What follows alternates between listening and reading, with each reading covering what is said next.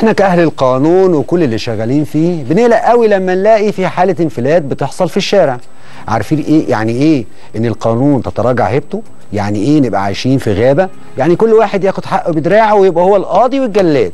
ونرجع بقى للكلام اللي كنا بنسمعه زمان إن اللي ليه ظهر ما يضربش على بطنه وإن كل بيت لو في واد صايع حقه ما يبقاش ضايع.